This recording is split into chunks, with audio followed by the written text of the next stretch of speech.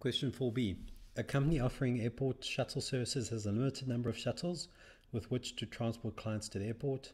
They have the following clients booked for a specific day and need to figure out how to accommodate all of them. Then it lists five clients with different times that they need their shuttle needs to depart and how long the travel time is. Assume that the travel time indicated provides enough time for any shuttle to travel to a client and to transport them to the airport, and that the departure time indicated provides the time at which the shuttle will depart to pick the client up. And then part one of this question says define the variables for the CSP. Okay, so that's quite easy in a scheduling problem. The variables are going to be, I'm going to call them trip 1, trip 2, trip 3, trip 4, and trip 5. Okay, so with the variables, in identifying the variables, we need to ask the question, what, what are we trying to figure out? And in this instance, we're trying to figure out how many buses we need to, to get the shuttle going properly. Part two says define the domain for each variable in the CSP. So domain is what are these variables going to hold? This is going to be b1 to Bn, where n is minimum buses needed to reach goal.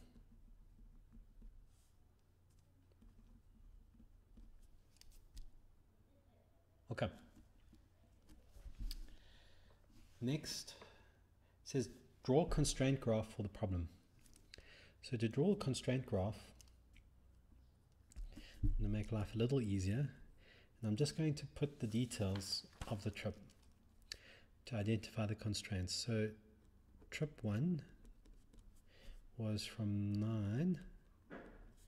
It is a 35 minute trip and that means it will end at 9.35.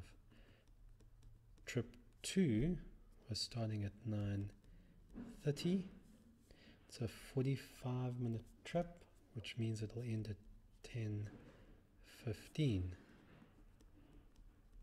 Trip 3 starts at 9.45. It's a 15 minute trip, which means it ends at 10 o'clock. Trip 4 starts at 10.10 it's a long trip. It's one hour and 30 minutes, which means it will end at 11.40 and trip 5 starts at 10.45. It's a 20 minute trip, which means it's going to end at 11.05. Okay, so now I've just identified the constraints and now to draw the constraint graph. Let's start off with trip 1. nine to 9935. It has a constraint on trip 2 because trip 2 is departing at 9.30 and trip 1 wouldn't have arrived back yet. Is there anything else being affected? No, it isn't because everything else is starting after 9.35. So we move on to trip 2. 9.30 to 10.15, we've already identified that there's a constraint on trip 1, but there's also a constraint on trip 3 because 10.15, the arrival back of trip 2, is after 9.45, and there's a constraint on trip 4 because that is starting at 10.10 and that only arrives back at 10.15. Nothing else, so we've done trip 2. Trip 3, we've identified the constraint between trip 2 and trip 3. Nothing else is being affected because it arrives back at 10 and trip 4 and trip 5 are after 10 o'clock. If we go to trip 4 at 1010, we've identified that constraint. There's also going to be constraint on trip 5 because this is still away when trip 5 needs to depart. And then finally, trip 5, we've identified the constraints for that. Okay, so here we've identified the constraint graph for this problem. The next thing we need to do is it says how many shuttles are needed to ensure everybody gets to their flights on time. So we're going to start off with the minimum number of buses, which would be one. And if we run out of variables, uh, values for each variable, we're going to uh, expand by one unit each time. And to decide where we start, I'm going to start with the thing that has the most constraints, which is trip 2. And I'm going to go bus 1. So if bus 1 were to, to go, so we select bus 1, we need a bus for trip 1 and trip 3. So we're going to put at least one bus.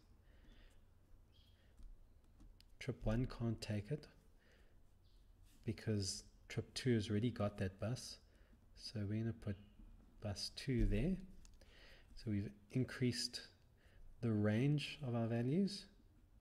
So I'm going to put bus 2, bus 2, bus 2, bus 2. Okay. Trip 1 can't use those buses. But over here, it could trip 3 could use bus 2.